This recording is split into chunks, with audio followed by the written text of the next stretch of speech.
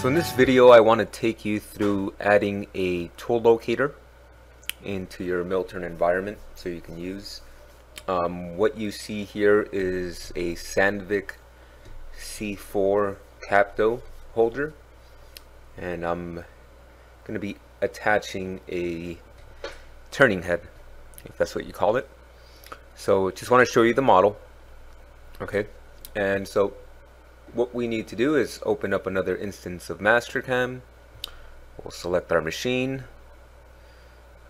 And for this one, I'm working on a Doosan Puma.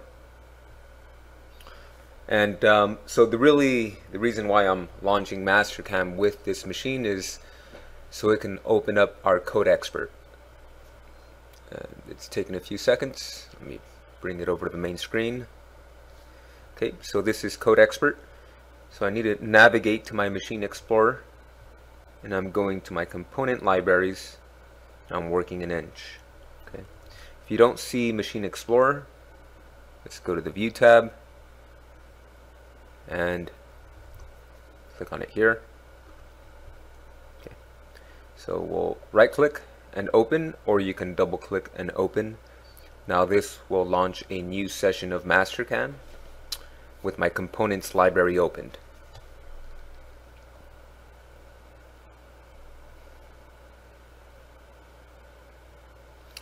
Right, so here's my component library and I'll be adding a tool locator here to my upper tools group. Okay, so I'll be adding one here.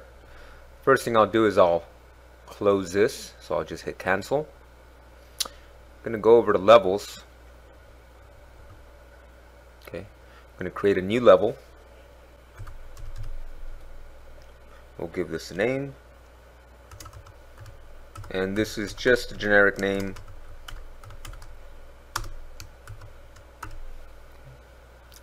Now what I'll do is I'll merge. So I'm going to go file and merge that solid model.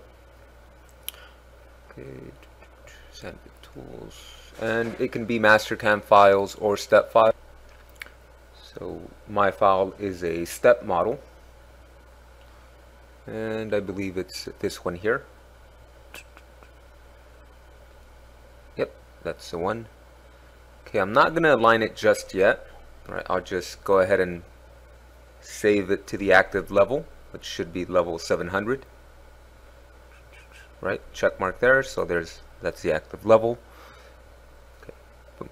now the reason I didn't align it I didn't change the orientation is because I want to actually use an existing model as reference. So let's use level 50 here, so I'll make this visible. Okay.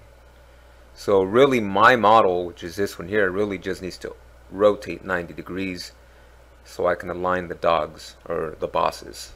Okay. So I'll select my model and just for simplicity I'll use dynamic snap it to the origin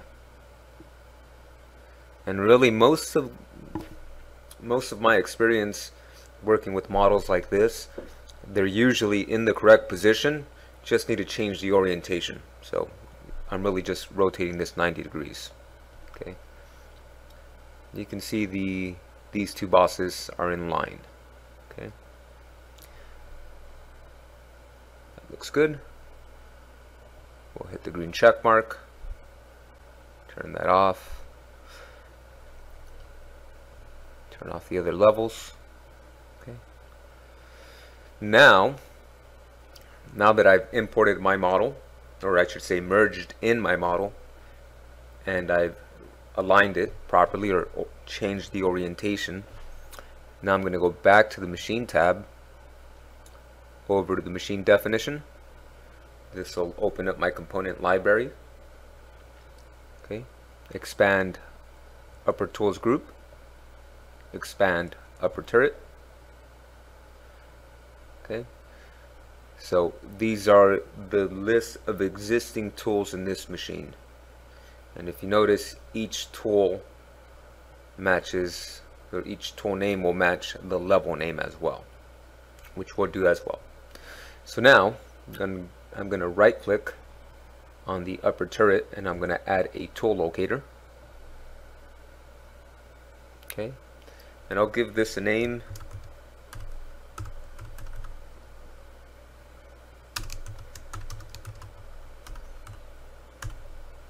Oops.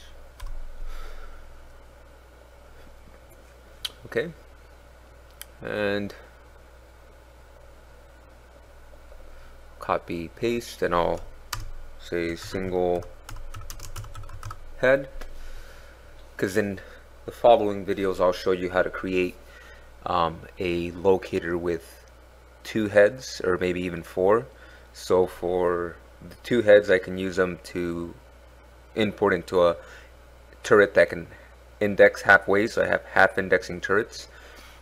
Or I can have one head for my left spindle and one head for my right spindle. And when I'm saying head, I'm saying a turning head or a turning body that I can import into the Capto uh, tool locators. Okay, so we'll leave this as is now. What I want to do next is go over to the geometry tab. And you don't have to follow me step by step. This is pretty much just my workflow what I'm showing you is what needs to be done and then you figure you work out the steps the way you works best for you okay so now what I want to do is I want to import my geometry so I'm going to select a solid entity okay then we'll go down here select an entity and I'm selecting the merged solid okay Good there. Okay, so I don't do anything else here. Now I'm going back into my parameters. Now let's go ahead and fill this fill in this information. Okay, so now I'll work down. So this is only a, a single station tool. Okay, so um, again, if I had multiple stations, two or four, I'll see that populated here. So um, allowable tool types, I'm going to say it's a fixed tool, insert down. Okay, because this is the way I defined my 3D tool, and you'll see here in a bit. Okay, so I'm going to say fixed tool, insert down. Tool orientation. So this is not a neutral tool, so this means that it can't work on the left and the right spindle. It can only work on my left spindle. Okay. Now going over to tool position on locator. I'm going to click on this arrow here. Now I'm going to select the position of where my tool locates here. So I'm going to say in the center of this edge here. Okay. And then tool holder position to match. So my 3D tool, it's a round tool, and it's selected on the back face on the center. So this is correct, tool 5. Okay let me pause so I can show you my 3D tool. Okay, so this is my 3D tool. This is the one that I'll be using for the locator that I'm defining. Okay, so what I want to show you is the machine connection point.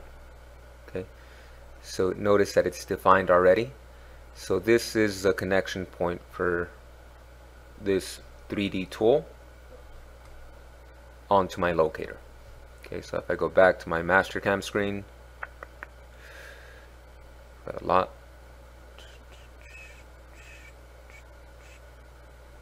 It's this one here. So this will match my 3D tool. Okay. So that's correct. This all looks correct here. Okay. So the next thing I need to do, oh, by the way, assigned, I'll set that to zero because this tool can go on any station or any index on this turret. If for some reason I was creating a live tool and there were certain positions that accept live tools, then I need to assign it here. Okay. So let's go ahead and we'll say okay here. Looks like we're done. And I should see it here on the list. It's there. Now let's make sure to hit save.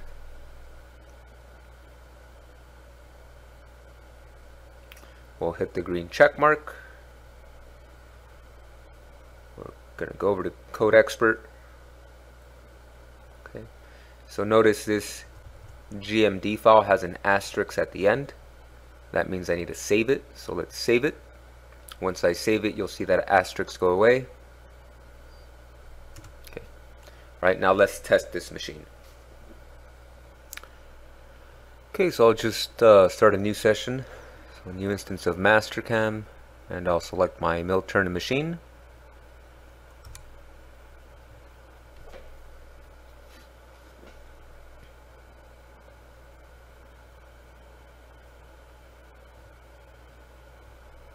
Just give this a few seconds. Alright. Okay. Back over to Mastercam. I'll just load my new tool. And I can just use it for my lathe library. Okay, and this is the Capto tool I'm using. Okay. Then I'll go over to my turret. So, so I can mount tools onto my turret. So the tool setup manager. Okay, so here I see my Sandvik C4 Capto. I'll just click on it and I'll drag it on index 1. go on any index. So let's just go to index 1. So I don't see my tool here, so I'll just go to display, drop down menu, say all tools, click, hold, and I'll drag it over to station 1. Okay, so I can right click here and I'll say view component and children. Now that looks good. Okay. Now let's see the turret with the locator and my tool. So I right clicked on the upper turret and I'll say view component and children. So that's how you import a locator into your mill turn machine environment. Um, hope this helps.